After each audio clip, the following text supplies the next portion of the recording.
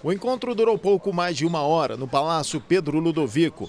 O governador eleito, Ronaldo Caiado, quer saber detalhes das contas do Estado. Nós temos acesso direto ao governo, recebendo da área técnica, como foi colocado aqui também pelo senhor governador, toda abertura para cruzamento de dados, informações e um diagnóstico precoce de todas as ações também que terão interferência no nosso governo a partir de 1 de janeiro de 2019.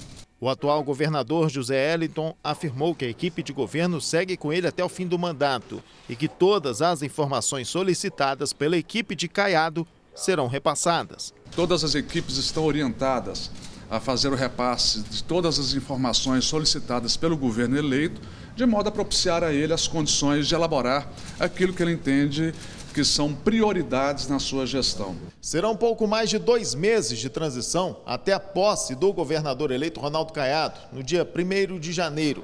Uma empresa foi contratada para cuidar de toda a parte técnica dos trabalhos.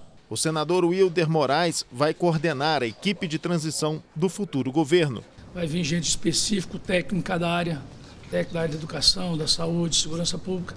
E com certeza nós vamos estar transitando em todo o governo, para que possa, o mais rápido possível, passar esse relatório do senhor governador, que ele possa tomar a decisão, ter o conhecimento de todas as áreas do governo. Outro que vai fazer parte da equipe é o prefeito de Catalão, Adib Elias. Então vou continuar fazendo esse trabalho que eu faço aqui hoje, ao lado dele, para, acima de tudo, trazer esperança, trazer fé, é, fazer uma modernidade, tanto administrativa como financeira é, e política para o Estado de Goiás. O objetivo também, da nossa parte, é de uma transição cumprindo todo o ritual que se deve cumprir dentro de um sistema democrático, republicano e com respeito e objetivo único a partir de agora, e sempre foi de fazer com que o cidadão goiano seja o maior beneficiário